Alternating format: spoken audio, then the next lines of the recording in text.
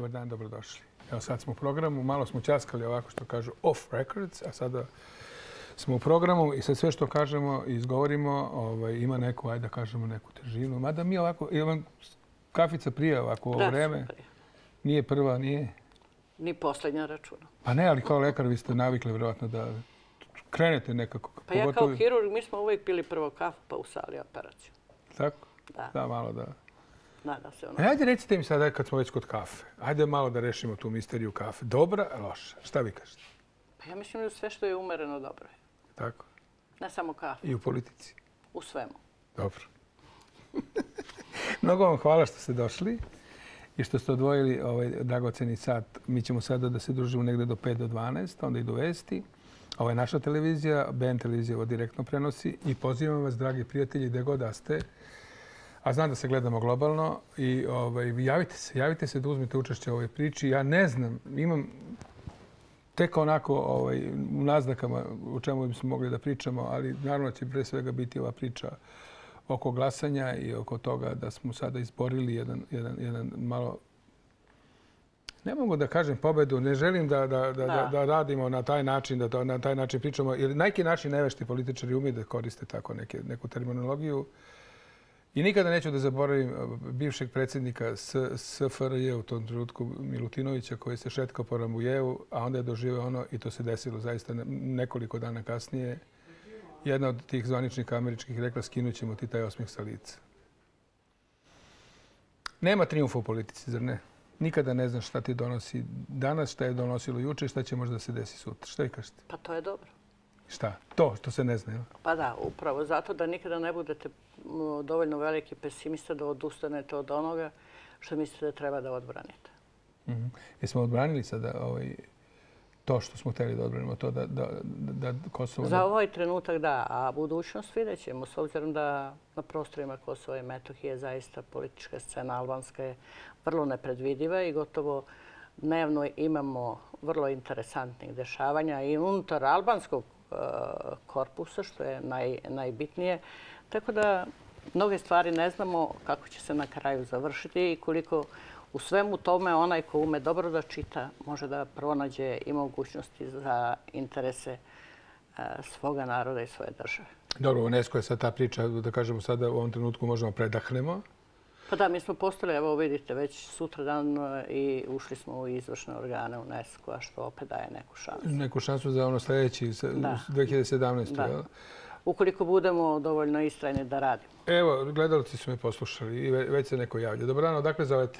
Halo? Dobar dan, zovem iz Beograda. Pozdravljam doktorku Radu Trajković i drago mi je videti, drago mi je čuti jer je ona više decenijski borac za stvar Srba na Kosovu. Mhm. Pozdravljam njenu upolnost, njenu umerenost e, i tako. E, želeo bi nešto van politike. Vidimo po nekim statistikama, e, prvi smo po ili drugi u Evropi po umiranju beba. Sve se nešto ravnamo sa Albanijom. Negde smo iza njih, negde smo posle njih. I naravno na jugu Srbije. Mm -hmm. Kao doktorku, pitanje, kao stručnjaka. Imali uticaja imali uticaja da nestručni, da nestručni akušeri, ginekolozi i tako dalje, našto na jugu Srbije. I e, mnogo ovih fakulteta koji školuju čak šta više i kupuju se diplome. Aha, to mislite, da je nestručnost dovela do toga da... Eto, dobro. Imamo poentu. Hvala vam puno na javljanju. Hvala vam zaista. Interesantno pitanje, ja sam mislio će odmah žestoko... Na neki način jeste politika. Pa ne znam da vam kažem, ja ne pripadam ljudima koja, koji misle da lekari su za sve krivi. Znate, ovaj gospodin misli da nedovoljno stručnost... Ja, ja, ja bih pre negde imala kritiku za lekare koji se bave ginekologijom i koji dozvoljavaju da Srbija bude negde u vrhu po abortusima zaista. Ne zato što sam vernik, nego upravo zato što mislim da je to postalo vrlo profitabilno i da ginekolozi mnogo manje vremena posvećuju edukaciji i pripremi e, mlade generacije za nešto što je početak jednog, njihovog seksualnog, što kažu, života i koji su izazovu i kako se od svega toga zaštititi. Pa sada imamo jako mladu decu koja, nažalost, e, dolaze u pozicije da, eto... Dete rađe dete. To, to od prilike. E pa vidite, mi ovdje moram se pohvaliti. U ovoj emisiji, u ovoj televiziji, bijemo jednu veliku bitku upravo protiv abortusa. Doktor Vanja Milošević, ginekologa Kušer Gaka, Narodni front, dolazi ovdje veoma redovno i mi bijemo tu bitku. Pre svega da žene redovno odlaze na, na preglede kako bi na vreme otkrili nešto daleko bilo. Ali u pravom trenutku vi to znate kao doktor. Jer uh mhm. -huh. Bolje spečiti nego lečiti, to već se izlizalo tačno tako jeste. Uh mhm. -huh. U tom smislu i bijemo bitku protiv abortusa. Uh mhm. -huh. I samo da se još malo pohvalimo u tom smislu, pa ćemo nastaviti priču. 68 škola u Vojvodini uvelo zdravstveno ospitanje u škole kao po, direktna posljedica naše kampanje i akcije koje vodimo baš u ovoj emisiji. Gde ste vi sada to? Eto, to je, moram da se pohvalim u tom smislu, jer ste rekli pravu stvar, tako je. Abortusi su, i čuli smo čak jedan podatak, svaka dva minuta se događa. Da, nažalost, je taj profit eh, koji imaju, nažalost, neki neodgovorni ljudi iz moje struke, mislim, ginekolozi, zaista jeste nešto što poprilično može da doprinese edukacija, edukacija, edukacija. negativnim tokovima. Crkva ima svoja pravila, um, toliko ne govori ni ona o tome. Ona je konzervativna institucija, ima svoje malo restriktivnije poglede na, na sve to, ali sve u svemu, ukoliko o svemu radimo na jedan dobar način, ja mislim da može mnogo koristi da se izvuče. To može. E, ja predlažem sada da se vratimo malo ono, ono što je bilo najaktualnije ovih dana. Jednu reportažu ćemo pogledati i to pozajemljeno iz e, televizije Vojvodina. RTS naravno je tu u pitanju. Broj 10, molim vas za broj 10, da bi nam to dalo jedan šlagor da malo zaista popričamo svemu tome, da bi nas uvelo u priču tu priču koju želimo danas da, da podelite sa nama. Šta i kako se danas e, živi i, i radi i stvara i, i bije ta velika bitka? Ako ništa drugo za, za ravnopravnost na Kosovu. Hajde da, da pogledamo ovo pa se vraćamo na jedno studio. Sa nama danas gospođa Rada Trajković.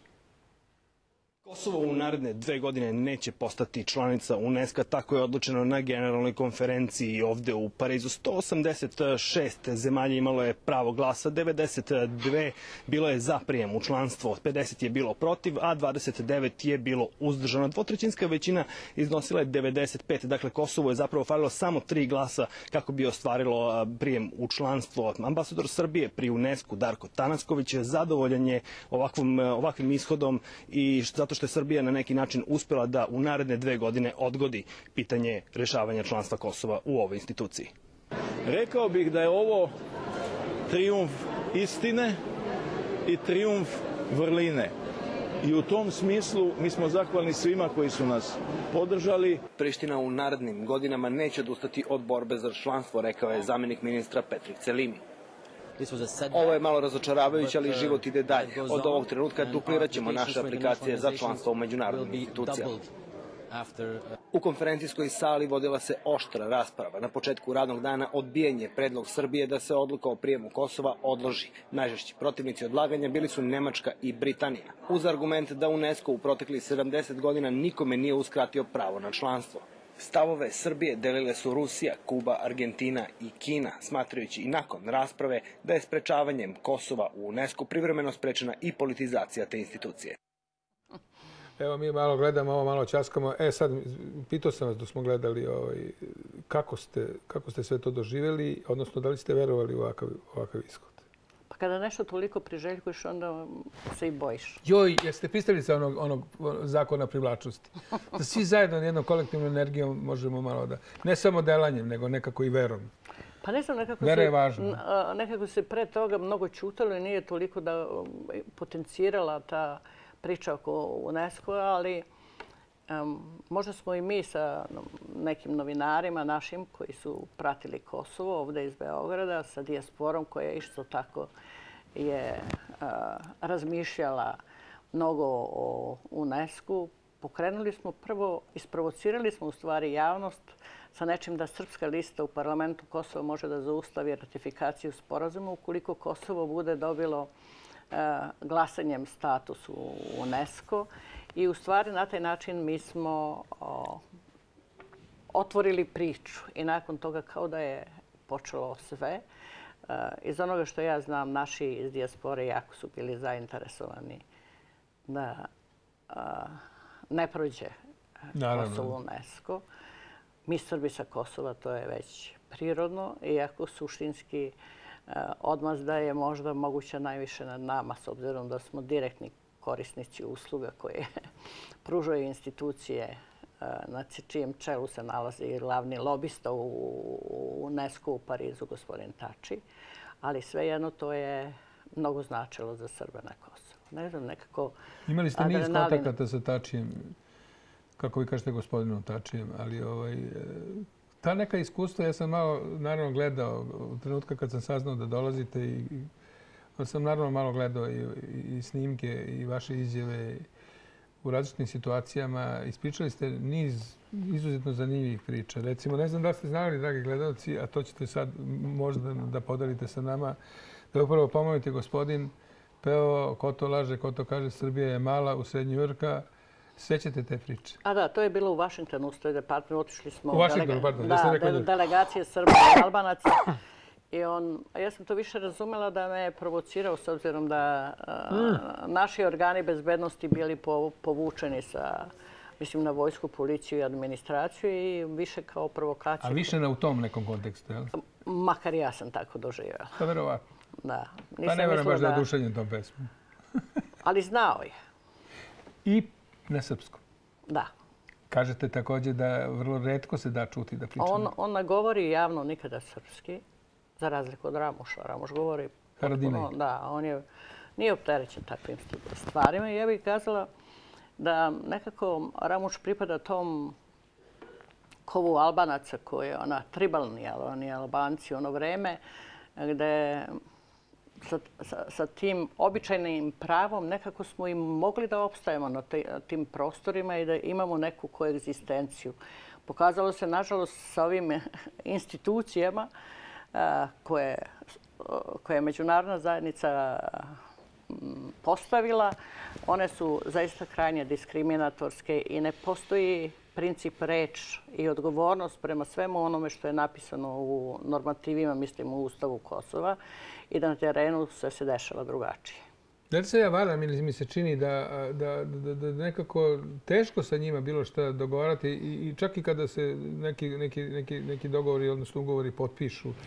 Jer evo, e, doživjeli smo, evo sad upravo kao zajednice srpskih opština, da ta, taj dogovor u okviru tog briselskog spozoruma ništa ne vredi, bar kad su oni u pitanju. Znam ima one euforične izjave našeg, našeg predstavnika Đurića, ili tako, kad je rekao ja to ne volim, nisam bio sećan kad sam čuo 5-0. Ne znam kako vi to sve komentarište, ali predlažem da sad čujemo nekoga da ne čeka, ali evo, načeli smo neke teme pa ćete vjerojatno malo da nam pojasnite. Halo, dobar dan, izvolite. Halo. Izvolite. Ja hoću da pozdravim vas, Nešo i moju zemljakinju Rado Trajković, koja je iz Podujeva, pa i ja također. A mhm. pitanje je za gospođu Trajković. Mi smo potpisali u Briselu s Albancima sporazum, ili ne znam kako se to zove, da, se ne, da nećemo jedni drugi ometati u članstvu u međunarodnim organizacijama, pa su oni to eto iskoristili i prijavili se za UNESCO kao za olimpijski, olimpijski komitet. E sada, znači, e, e, oni će to znači, sljedeći put uraditi ponovo i verovatno proći, ali je recimo meni, evo, njihov odgovor je to da su suspendovali onaj dogovor o formiranju srpskih opština, zajednica srpskih opština. Da, čekaj da se vidi da li to ustav može da prođe u ustavu ili ne može. Da, ali mi ne možemo ništa iz našeg ustava, Boga mi, da suspendujemo neto. Čekajte, čekajte, to je neka manipulacija sada. Ajde, ajde, samo recite konkretno pitanje šta? E, konkretno, e, moje pitanje je, recimo, meni je malo, malo ovaj, čudno da smo se mi, Albanci se vezali za Amerikanca, mi za Nemce. A Nemci su evo sad u UNESCO baš bili protivnici e, toga da mi tako prođemo kako smo prošli. Jel? Hvala. To je to. Evo da čujemo gospođu Radu. Pa ja mislim da opozicija koja je u parlamentu Kosova i Metohije, mislim na gospodina Ramoška Heradina, ja sam opredeljenje i Fatmira Limaja. Dobro. Oni u suštinski žele da pokažu da je liderstvo institucije u Prištini nema kredibilitet, nemaju institucionalnu mogućnost da ono što dogovore mogu i da realizuju. Znači, oni žele da kompromituju liderstvo institucionalno sa željom i sa opredeljenjem da dođe do novih izbora. Međunarodna zajednica izbegava i ne želi da prihvati da se da parlament sada prekine sa radom. Sve mhm. čini da se mhm. nastavi. Ona želi da se do kraja dovrši proces e, organizacije specijalnog suda, da se potpiše sporazum sa Holandijom, da, mhm. da počnu e, procesuirane ljudi odgovorni za zločine. I ona je pokušavala da nekako stabilizuje taj institucionalni poredak. Međutim, a, mislim da nakon odluke gospođe Artifete da ustavni, da, da suštinski ovaj dogovor pošalje na Ustavni sud mimo dogovorene procedure, jer predsjednik Kosova nema mogućnosti, nema zakonskog prava da međunarodne ugovore šalje prema Ustavnom sudu. To je bilo dogovoreno da vlada izađe sa dekretom, dekret da ode na Ustavni sud i nakon toga da se napiše statut e, opština. Znači ovdje je urađeno sve mimo procedure. Ono što je interesantno, podrška je međunarodne zajednice. Zašto međunarodna zajednica je podržala kršenje rezolucije 1244 i u tom kontekstu ja mislim da najveću ulogu ili aktivno rade birokratija Evropske unije. Sa jedne strane, predsjednik Austrije je došao pokušavajući da održi jednu sednicu na kojoj je želao da okupi sve sa jedinim ciljem i jedinom željom da u stvari e, i opozicija i pozicija e, uđe u parlament i da e, pripremi u stvari parlament za buduću normalnost u smislu da ne bude suzavaca, da ne bude nasilja i da počne da funkcioniše. Ta E, običanja koje je on za govornicom dao u smislu svetle budućnosti, to nije pomoglo. Nakon toga je bio potpis e, o stabilizaciji koji su isto dobili bez ikakvih zasluga. Isto tako Brisel je pokušao da korumpira u stvari eh, i liderstvo i opozicije i pozicije, da bi isto tako doveo da Skupština Kosova profunkcioniše na jedan normalan način. Ni taj nivo političke korupcije nije uspeo. Znači, nakon toga opozicija i dalje ne želi da omogući da se normalno funkcioniše. Došla je e, gospođa Lunaček koji se zaista potpuno predstavlja kao ja bih kazala jednu tešku reč, nažalost kao albanski lobista, koja kaže da eh, zajednica eh, srpskih opština moguće da dođe do promjena onoga što se potpisalo u Brisel, da bi isto tako zadovoljila da e, otprilike to, da bi zadovoljila potrebe Albanaca. Ona ide i korak dalje, ona govori o o Srbiji koja je činila zločina, o genocidnoj tvorevini i da ne govorim. Sve sa razlogom i sve sa ciljem u stvari da na jedan način privoli e, saradnju unutar Albansku. Ono što međunarodna zajednica definitivno na Kosovu radi i čega se boji, to je unutar albanskog sukoba, koji mislim da je neminovan i da je pitanje dana. Oni ovim eh, eh, potezima suštinski žrtvuju Srbe, srpske interese, iako se prostor Kosova i Metohije nalazi na donjoj eh, granici multijetičnosti, Tači se hvalio da je uspeo da svrede i to u Savetu bezbednosti Srbe na 4% i da samo 4% stanovništva Kosova nije za ulazak Kosova u UNESCO. Albin Kurti je kazao da nas ima 6%, negde međunarodna zajednica negde špekuliše sa 8 do između 8 i nešto posto, ali sve jedno, Kosovo se nalazi na donjoj granici multijetničnosti. Zamislite sada da sve ono što je sukob i što sukobljava vlast i opoziciju eh, i Evropska unija i gospođa Lunače kao njen promoter, oni e, na poslužavnik i jednima i drugima nude prava srpske zajednice, što bi rezultiralo nastavkom daljeg iseljavanja Srba. Ja razumem da međunarodna zajednica, možda njihovi strateški centri, posmatrajući situaciju na terenu, vide gotovo izvesno da će se desiti sukob unutar albanski. Znači, e, i oni pokušavaju da tu situaciju odlože ili da je nekako prebrode na način što će e, albansko liderstvo okrenuti protiv Srba i srpske države. Kao faktor zajednički imenitelj. Kao zajednički imenitelj.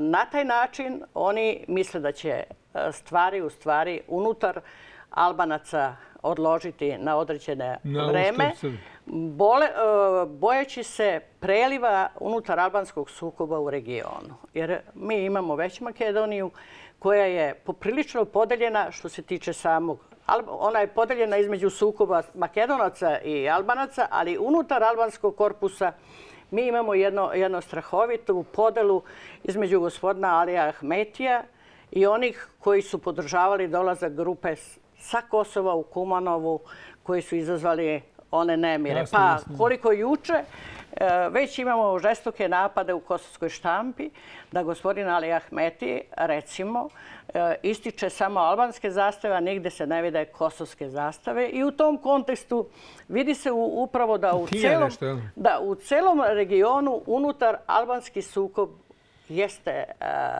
realnost. A recite mi, kad kažete sukob, u kojoj formi, oružani, diplomatski, politički, ekonomski, kakav?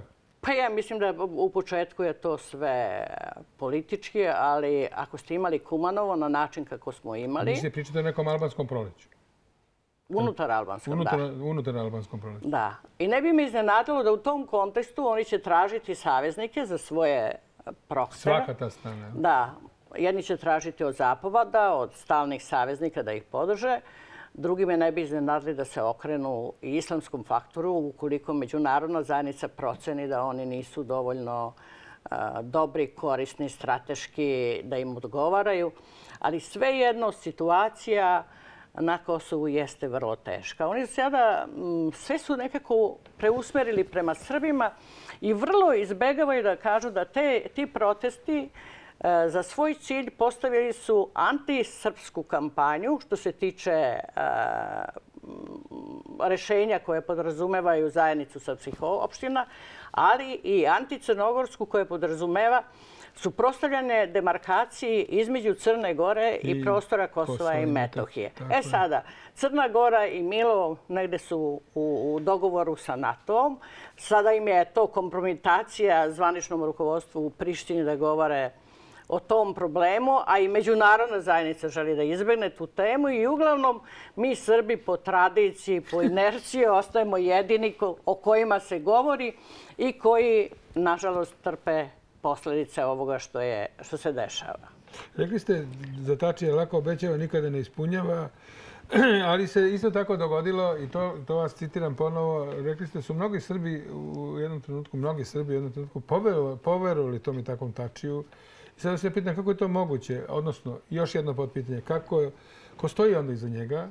I još treće potpitanje, šta je to šik? Hoćete pa- redom? pa ne, ja ću da vam ispričam onako kako, kako doživljam. Znači, a, obaveštena služba Tačijeve partije zove se ŠIK. Hvala. A, ta služba je... Ne... Znači, on ima svoju obaveštenu službu. On ima partijsku obaveštenu službu. Partijsku obaveštenu, da, da, dobro. Ko, za koju znaju svi. I znate da dole sede obavešteni centri najpoznatijih zemalja sveta. Tamo je baš lepo i, i da. zanimljivo. I oni... E, nešto se govori u posljednje vreme da dolazi do sukupa u stvari ovo sada s obzirom da pokretanje inicijative za specijalnog suda, mnoge stvari do, o, nekako je poremetilo pa i taj partijski odnos sada i šik se nekako preorijentiše prema drugim liderima i da negde tinja sukob i između Tačija i Šika.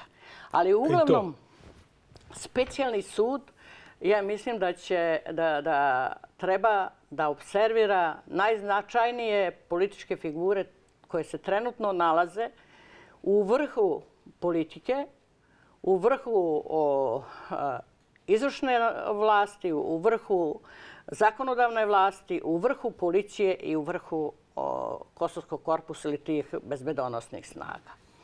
I e, ja bih kazala da Albanci sve ono što su dobili na Kosovo, oni su dobili sa jednom obsesivnom kampanjom antisrpskom gdje su stalno govorili o zločinima koje je Srbija i srpska vojska činila nad Albancima.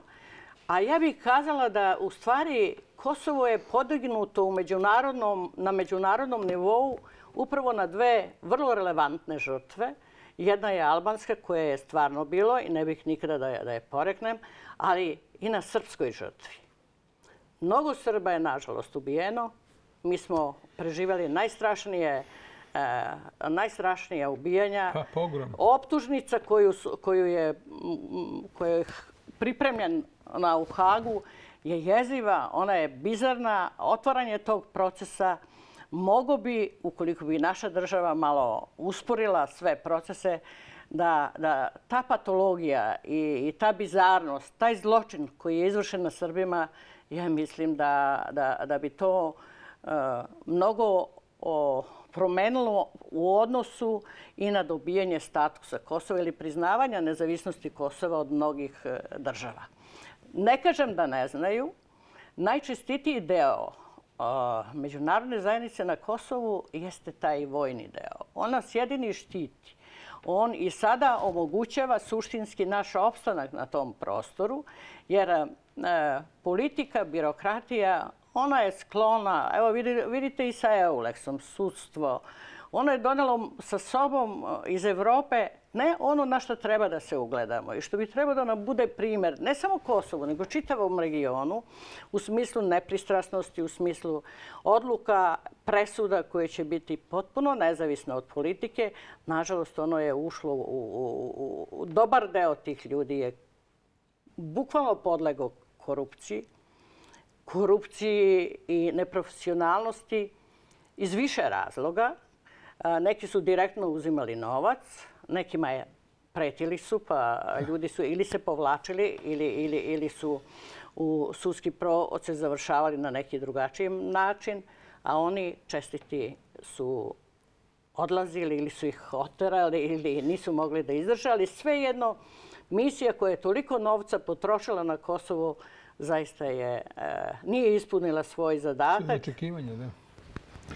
Vraćamo se našoj priči. Ali koruptivna moć uh, Albanaca sa Kosova je jako velika. Oni imaju zaista novca i previše koji dolaze iz različitih izvora, ilegalnih, normalno, i imaju vrlo opaku mafiju koja je spremna zaista da odradi vrlo nezgodne stvari za ljude koji dolaze iz Evrope i oni od straha se plovlače.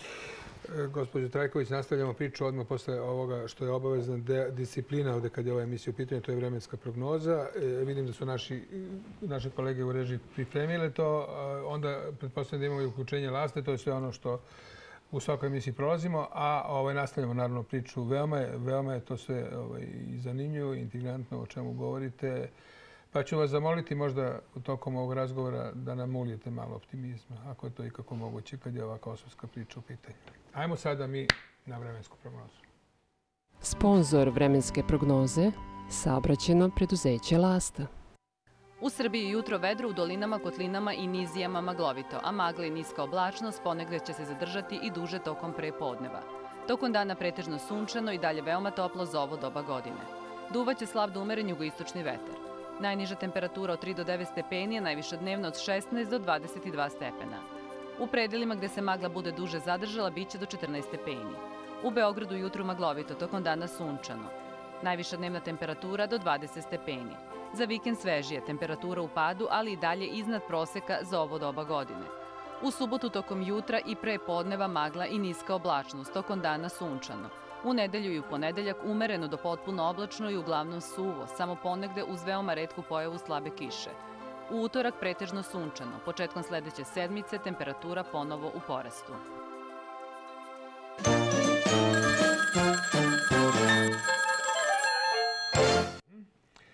halo, dobar dan, izvolite. Lasta, je li tako? Halo? Da. Dobar dan, izvolite. Lasta. E, dobar dan, dobar dan vama i vašim gledalcima. Do ovog uključenja prema pristiglim informacijama od svih naših dispečarskih centara saobraćaj se odvija bez zastoj i kašnjenja. Za danas nismo predvidjeli bis polasi. A danas Lasta radi po redu vožnje koji važi za radni dan, što znači da u mhm. linijskom saobraćaju bit će uključeno 619 vozila, planirano 6064 polazaka.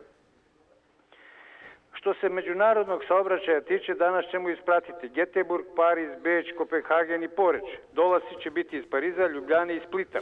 Za dodatne informacije o polasima, dolasima autobusa kao i o cenama karte, naši putnici mogu dobiti tokom 24 časa na telefon 0800 334 334 ili 3348 555. Dežurna ekipa Infocentra svim vašim gledalcima želi prijatan dan, putnicima sretan put. Toliko za ovu uključenje, srdačan pozdrav. Vi ste divni, hvala vam na ovom konciznom izveštaju i to je tako e, dobro i ako budete ovaj, želi da se angažete kao voditelj ili reporter, evo dođite ovde da, da nas pojačate u tom smislu. Hvala još jednom i kažem uvek onu moju malu mantricu, sednemo u kola, vežemo pojas, upalimo svetla, ne da biste vi bolje videli po sunčanom danu, nego da bi vas bolje videli, pogledati još pozadi da li su se svi ovi sapotnici također vezali, jer oni pozadi su, kažu, još opasniji nego vi napred kad polete kao Đule daleko bilo se s mesta. Molim vas, fokusirajte se na, na vožnju, pogotovo usporite pored školi, da ta čitava akcija, deca se zaigraju. Sve je na vama i na nama, gospođo Tajkoć, je tako. Vi ste, vi ste sve lekar. na ljudima. Pa sve, brate. Ja ne znam, ali mnogo bih voleo, čitao sam puno o tome, naravno, i želeo bih da nekako ta nivo opšte svesti E, nekako kažu da je došlo to neko kosmičko vreme da se podigne na, za, za komicu malo na više. I, međutim, nekako u, u sklopu svih ovih događanja koje smo, koje smo sada, mi svi svedoci želili to ili ne, tako smo rođeni, jel? Pa živimo u tom nekom vremenu ekspanzije nasilja, ekspanzije svega i svačega, nečega što čovečanstvo nije doživjelo, makar nije, nije, možda i doživljavalo u toku svog, svoje neke istorije, ali nije bar malo da vidi sve to. Sada imamo uživo prenos od secanja glava i tako dalje i tako dalje. Ajde, Uh, u što sam sve ja sad ušao. Oprostite mi, dragi gledalci, ali nekako, znate kako to ide, tema na temu, tema na digresica, na digresicu. Pa ne, važna je, važna je televizija koja ulazi u naše kuće, ali... Upravo to, bravo, to je, to, je, to je sad svrha ove priče. Televizija ulazi u kuće i sada ti konzumenti, ovi naši gledalci, sad nudimo im sve i svašta i e, redko imaju priliku da čuju ovako jednu autentičnu priču i da mogu da donesu onda svoj stav. To je ono što je važno. Pa ne, ja mislim da svima do, nedostaje malo normalnosti. Normalnog razgovora ako skafiti. Suviše nenormalne stvari i preko televizije se približavaju gledalcima i oni na kraju to prihvate kao neko normalno stanje. Kao normalno stanje, a, a, to su neka abnormalne... Kao reality, kao... Užas, dobro, nećemo to, ne, nemojte da uđemo u te vode. Ne, ne, ne, samo sam napomenula. Treba će nam još dve emisije, gospođo Trajković. Da se vratimo mi ovome što smo počeli da pričamo, uh, taj tračak optimizma ja nalazim, a možda ćete vi da me ovaj, sada ovaj, demantujete, a možda nećete, u tom nekom stavu Amerikanaca da svojim, svojim, svojim odnosom uh, prema, upravo prema tačiju, prilikom jedne od posljednjih posjeta Americi su ga, boga mi, rejtingovali poprilično nisko, odnosno nije mogao da uđe tamo da je planirao da uđe. Sam, sam status njegov kakav je doživao nije bio pretredno optimistički. I sada konkretno pitanje, da li se i njemu upravo tih istih Amerikanaca sprema, sprema izlazak sučeljavanje sa istinom, sa pravdom, sa sudom? Pa ja mislim da sada jedan od najvećih problema za Tačija jeste kako da se domogne pozicije predsjednika Kosova. Da ne bi mogao da... Ne, ne, sporazum sa partijom lidera Demokratskog savjeza Kosova, Ise Mustafe i njega je u prilike da on treba da proleće preuzme poziciju jer je glasanje unutar parlamenta. Ja mislim da Amerikanci vrlo su ponosni što su uspeli da nametnu Artifetu Jahjaga kao predsjednicu, s obzirom da se radi o žene, ženi koja ima zaista jednu čistu biografiju, nema na sebi e, i oko sebe nema ništa što, što bi moglo da je kompromituje kao čoveka i ona je poželjno lice za kampanju za, za jačanje e, institucionalno te državolike tvorevine, mislim.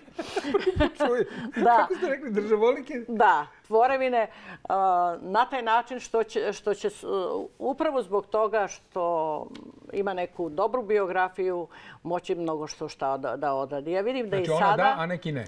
Da, ja vidim i sada recimo koliko juče već se pojavilo u štampi da su Amerikanci dali preporuku gospodinu Tačiju da ne ide za Pariz i da ne radi kampanju za UNESCO i da će sve to da bude kontraproduktivno s obzirom na njegovu biografiju. Što se i desilo? Da. On već dugo vremena ne može da uđe e, na adrese na koje je navikao da ulazi, već dugo. Znači, bukvalno su mu ograničene mogućnosti što se tiče samoga Vašingtona. On nešto sada je pokušavao da se približi Nemcima, s obzirom da nekako želi da pridobije neku od e, značajnijih sila kao sponzora. Koliko će tu uspeti, ja mislim, ne veruje. Ali on je vrlo, vrlo nervozan u tom smislu i e, sva njegova strategija i politika jeste usmerena da nekako svojim izborom za predsjednika Kosova u stvari stekne imunitet za odgovornost pred Haškim tribunalom. A ko stoji iza Tačija? Rekli ste da neko stoji iza njega. I sad, da li ti što su stajali ili stoje, više neće da stoje ili neće u budućnosti da stoje? Ja mislim da neće da stoje. I da polako on dobija signali da neće da stoje.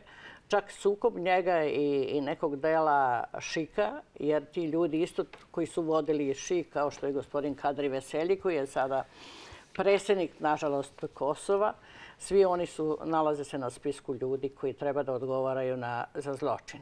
Neko, i vrlo često čujemo u beogradskim medijima, da recimo gospodin Tači neće nikada otići na sud. Ja mislim da hoće. Mislite da hoće? Da, ja, ja, ja verujem zato što sam sve do ulaska OVK na, na Kosovo, u Prištinu, sve dok sam kada je doputovao kao predsjednik vlade Kosova ispred OVK gospodin Hašim Tači, koji je, i mi smo u tom trenutku imali tri vlade. Imali smo Tačija kao predstavnika OVK, imali smo Rugovu i Zoran Anđelković ispred Srpske države. On je bio mhm, negde na mhm. Koponiku. Svoju vladu je, mislim, držao i cela knjiga Fonda za humanitarno pravo, koja je radila i bila sa nama i u crkvi i na terenu. To su bili ljudi, predstavnici fonda koji nisu bili iz Beograda, bili su stranci. E, oni su beležili ponašanje OVK. A OVK se odmah opredelio za proterivanje Srba, za sistematsko etničko čišćenje. I ono što je najstravičnije, to je bilo upad na ekonomski fakultet, gde su bukvalno masakrirani profesori sa ekonomskog fakulteta. To je bio jedan od najbizarnijih zločina. Da čak i Kejfor koji je e, e, radio uviđaj kada je izašao, bilo im je potpuno teško i kazali su da su bili užasno mučeni i da je strašno bilo. Nakon toga je počelo iseljavanje Prištine. Komadanti ove kasu podelili grad, pa je ono Lapska zona i njen komadant dobio jedan deo grada. Tu su mogli, pa recimo Drenice, drugi deo grada.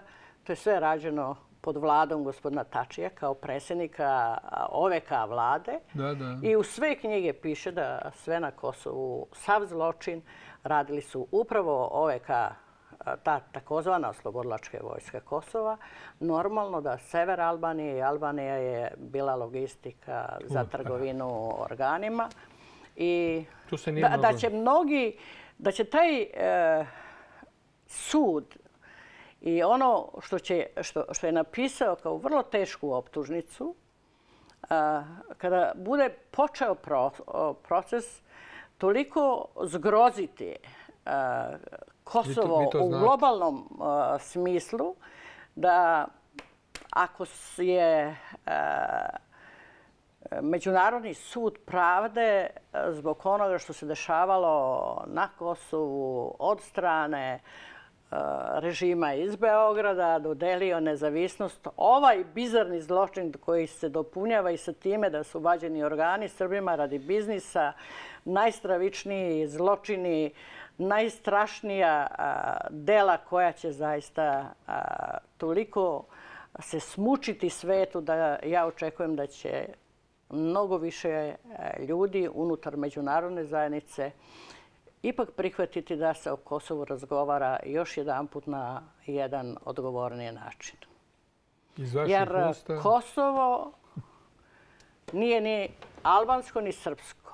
Ja, verujte, idem po Prištini i kada koračam ne vidim nikoga od Srba, ali onu zemlju koju gazim, ja znam da je to moja zemlja, I mi smo svi promenljivi, ljudski vek je 60-70 godina, ali zemlja je i srpska. I to moramo uvek da znamo. Rekli ste nedavno da mladi Albanci ne puštaju Kosovo u ogromnom broju. Čega se oni to plaši? Šta oni to traže? Gde oni to idu? Pa ja bih kazala da Albanci su u stvari... E, i Kosovo i Albanci sa Kosova, oni su jedini evropski muslimani. Jedan deo stanovništva ili najveći deo stanovništva od siromaštva, od bede, od režima koji je apsolutno kriminalizovan, korumpiran, nepotizam, ne stvaraju mogućnosti uslova opstanka Albancima. Sve te njihove iluzije da će dobijanjem statusa nezavisnosti svih njihovi problemi biti rešeni, pokazali su se u stvari da nezavisnost nije rešila problem stanovništva, onaj običan problem koji podrazumeva normalnost u smislu života i opstanka. Tako je, bravo. I oni su počeli zaista da masovno napustaju Kosovo. Jedan deo ide prema Evropi. Je to, pardon, izvinite, je to ista, ista maršruta kao i ovi migranti koji u ovom trenutku zaista... Od prilike, da. I iste zemlje su njihove destinacije. to je Nemačka, Švedska, Austrija. Jedan deo, nažalost, ide prema islamskoj, državi, državi. I sve više se uključuje, evo i juče već je uhapšena jedna grupa na evropskom nivou gde je aktivan član i predstavnik sa Kosova. Tako da e, imamo zaista na Kosovu jednu živu, e, unutar albansku, ja bih kazala, aktivnost u smislu promjena i sukoba na nekoliko opcija. Pričat ćemo sada malo i o našim ljudima ovaj, koji tamo žive i rade. Potretit ćemo se jednog dirljivog momenta ali ćemo se također i podsjetiti i pričati malo i o Savi Janjiću i njegovom delu i Srpskoj pravoslavnoj crkvi, ali pre toga naravno izveštaj Automoto Savjeza Srbije. Ajmo brzo to da bismo imali malo vremena za ovo što ne javih.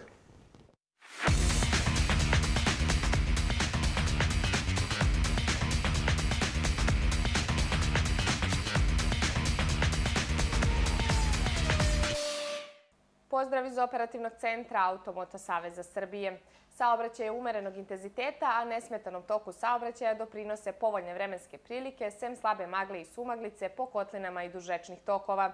Brojne deonice na kojima je izmenjen režim saobraćaja zbog radova zahtevaju od vozača dodatnu opreznost. Prema informacijama javnog preduzeća Putevi Srbije, danas od 7 do 17 časova zbog radova Na sanaciji kolovoza na deonici Ražanj-Pojate u smeru ka Beogradu saobraćaj će se obavljati preticajnom saobraćenom trakom uz privremenu signalizaciju. I dalje je zbog radova na mostu preko reke Rače i železničke pruge Markovac-Svilajnac preusmeren saobraćaj na suprotnu stranu autoputa na brzu traku u smeru ka Beogradu. Do 15. novembra izvode se radovi na obilaznici oko Beograda na deonici od Surčinske petlje do Novog Batajničkog mosta u oba smera, uključujući i Dobanovačku petlju. Zbog izgradnje južnog kraka koridora 10, saobraćaj se na više deonica između Leskovca i Vranja obavlja usporeno prema postavljenoj signalizaciji. Zbog potrebe izgradnje autoputa na deonici između Carečine doline i tunela Manajle, neposredno pored železničke pruge koja se nalazi na levoj obali reke Južne Morave, a na suprotnoj strani autoputa, izvodit će se radovi na miniranju koji ne utiču na bezbednost saobraćaja na navedenom putu. Završeni su radovi u zoni mosta na deonici Predejane džep. Uklonjeni su semafori i prateća vertikalna signalizacija koja je bila postavljena za vrijeme radova. Saobraćaj se sada odvija dvosmerno na obe saobraćene trake prema postavljenoj vertikalnoj i horizontalnoj saobraćenoj signalizaciji i opremi. Danas će zbog potrebe izvođenja radova na miniranju na delu između Niša i Pirota u zoni mosta u Čifliku biti obustavljen saobraćaj od 14 do 16 časova. Na graničnim prelazima, prema podacima Uprave granične policije, zadržavanja putničkih vozila nisu duža od 15 minuta, a prema podacima Operativnog centra MUPA Republike Srbije, tokom jučerašnjeg dana na putevima je evidentirano 106 saobraćenih nezgoda u kojima su 64 osobe teže i lakše povređene, a nažalost i jedna osoba je smrtno stradala. Vozačima savjetujemo da pored povoljnih vremenskih prilika i suvih kolovoza voze sporije i da strogo poštuju saobraćajne propise a naravno naš operativni centar 1987 dežura non-stop. Na raspolaganju smo vam za pomoć na putu, kao i za sve savete iz oblasti saobraćaja. Kontaktirajte nas ili posetite naš sajt amss.org.rs. A svim vozačima želimo srećan put.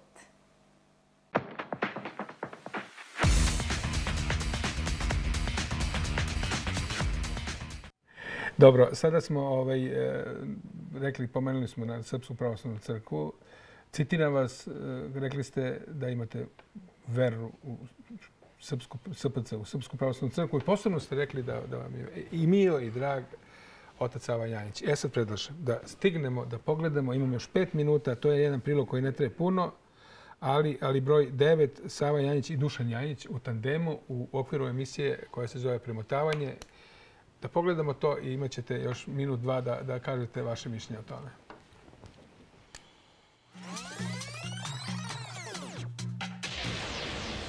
U 16 godina nakon završetka rata već e, e, već više od 200.000 ljudi, dakle, e, Srba ne može da se vrati u svoje domove. Pre svega, mnoge kuće su i dalje porušene. U Dečanskoj opštini nemamo ni jednu porodicu koja se vratila. Dakle, mi Srbe ovde brojimo po pojedincima i tako i samo na području Metohije ja mislim da nema više od e, 3000, maksimum 3000 Srba. Iako je ukupan broj Srba, računamo negde na Kosovu i Metohiji oko 120.000, posebno na severu i u Pomoravlju i centralnom Kosovu i na području Brezovice gde je, gde je malo veća koncentracija. Inače, E, E, ljudi dolaze ovde i ono što je dobro, imamo ljude iz e, enklava, ovih povratničkih sela koji dolaze e, i kojima jako mnogo znači i imamo mnogo poklonika sa teritorije uže Srbije, onda iz Crne Gore, iz Bosne i Hercegovine sada teže zato što Kosovo ne priznaje ni tablice, ni dokumente BH. Dobro, ne možemo sad celu izjavu da čujemo, ali smo se dogovorili da ćemo naše druženje da nastavimo. Prijela kafa, jeste, bez šećera? Sve je super. Vodite računa o šećeru. je tako. Ajde ovako, e, imamo taman toliko vremena da mi kažete ovaj, e, Srpska pravoslavna crkva, evo i otac Savanjanić, koji dole na, na, zovu ga Cyberpop. Da, ali ja nešto ću vam reći. Ta metohija o kojoj on govori, ta naša metohija, a, ima 800.000 albanaca. Naseljena, ima, ja? Da. Ali kada dođe bilo koji predstavnik međunarodne zajednice, najznačajniji ljudi Evrope, Amerike i sveta, oni idu u manastir Dečana.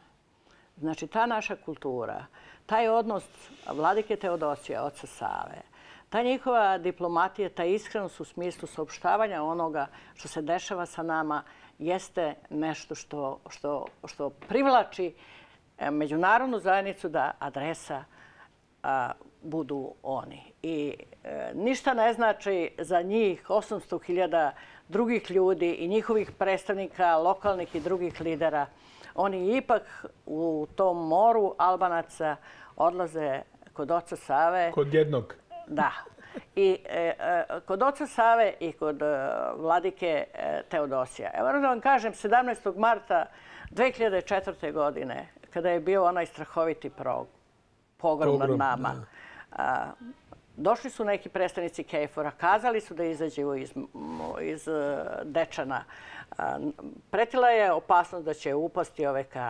Oni su ušli u manastir, svi, bratstvo, Teodosije, otac Sava, držali su molitvu i molili su se dva dana, nisu izlazili iz manastira i na taj način ga sačuvali. Tako da nikada ne verujte da je sve izgubljeno. Nećemo, hvala vam što ste došli još jednom. Vrlo brzo ćemo se, nadam se, družiti ponovo. Da. A vama, šta da kažem, imate lep vikend, petak je, ljudi moji, držite se zajedno, to je mnogo lepo i prošetajte se dok je ovako lepo vreme.